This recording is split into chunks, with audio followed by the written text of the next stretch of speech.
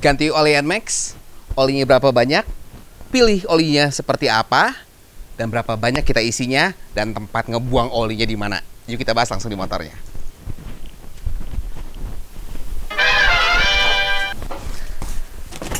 Sebelum kita ngobrolin cara ganti olinya, milih oli itu gimana sih? Karena banyak teman-teman yang, oh saya suka pakai oli ini, oli itu, karena A, B, C.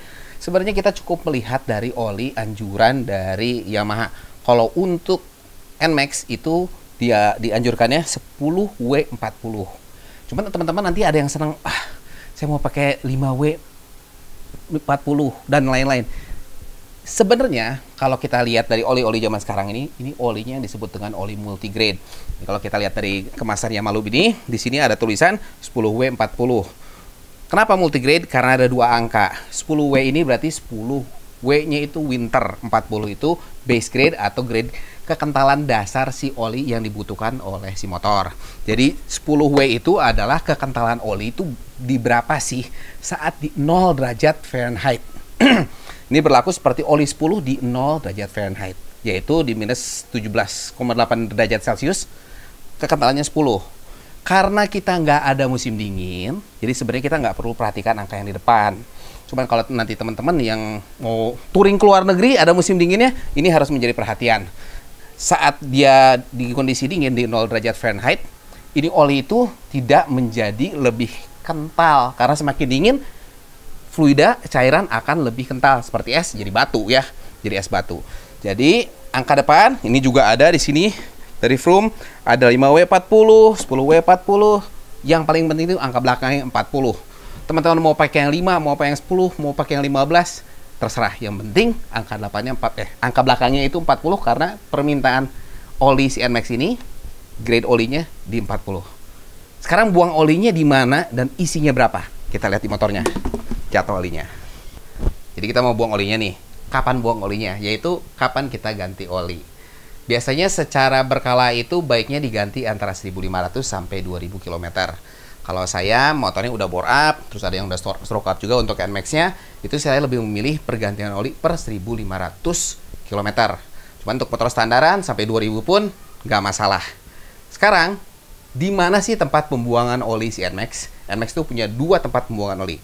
Satu di sebelah nomor mesin di sini ada kunci 12, kita pakai kunci shock 12 di sini untuk buang. Nah, pembuangan ini kita kalau kita buang dari sini tuh buangnya nggak benar-benar terbuang semua.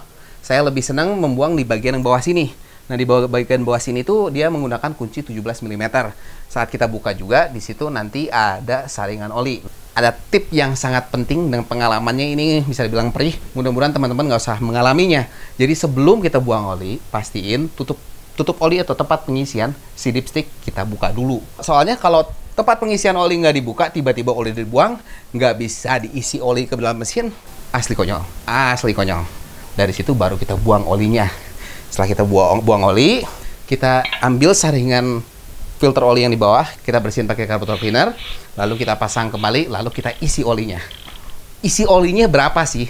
Sebenarnya jawabannya ada di, di sendiri. Kalau teman-teman lihat di bagian depan ada tulisan Yamalup, di bagian belakang ada tulisan 900 cm kubik, yaitu 900 ml. 900 ml itu mungkin yang teman-teman tunggu tadi isi olinya tuh berapa? Isi 900, cuman tetap menjadikan sebuah kebiasaan saat kita udah isi, kita colok lipstiknya, lalu kita angkat, kita lihat sudah penuh atau belum. Kalau overfill, buang lagi. Karena apa? Kebanyakan itu nanti akan mengakibatkan motor jadi lambat dan bisa jadi kerusakan sebenarnya. Karena crankshaft kerjanya lebih berat. Kalau kurang sedikit oke okay lah. Tapi sebisa mungkin pas banget. Dan jangan lupa tadi ganti olinya di 1500 atau 2000 km kalau saya lebih prefer 1500 isinya 900 mili olinya 10W40 minimal oli grade yang kedua itu 40 depannya terserah teman-teman deh. Yang penting oli 40 selesai deh ganti olinya. Belum selesai sebenarnya karena di motor NMAX ini ada timer oli yang suka kedip-kedip si oil trip kalau kita lupa reset.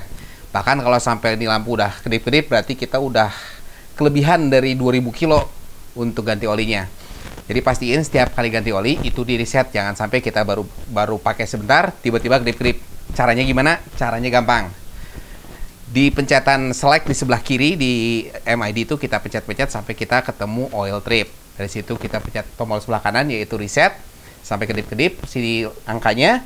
Dari situ kita pencet lagi sampai angkanya menjadi nol. Di sini oil trip udah nol. Berarti udah sip untuk dipakai, nggak akan kedip-kedip sampai kita kelewatan waktunya ganti oli. Oke, mudah banget kan? Ingat, selalu di reset. Kalau nggak tahu atau nggak tahu caranya, tonton video saya lagi atau tanya teman-teman atau mekanik yang tahu caranya. Oke, jadi kesimpulannya tadi ganti oli itu lebih enak per 5, 1500 kilo. Untuk motor bor apaan? Motor standaran juga boleh, tapi di 2000 kilo juga oke. Itu infonya. Terima kasih buat teman-teman yang selama ini udah nongkrongin channel, saya. Kalian semua luar biasa. Dan bagi teman-teman yang baru saja nongkrongin channel saya, jangan lupa untuk klik subscribe dan loncengin pencet ting ting ting agar teman-teman ternotifikasi bila mana ada tips-tips lainnya dan video perjalanan saya. Oke, jangan lupa tinggalin jejak berupa thumbs up. Sampai jumpa di video berikutnya. Bye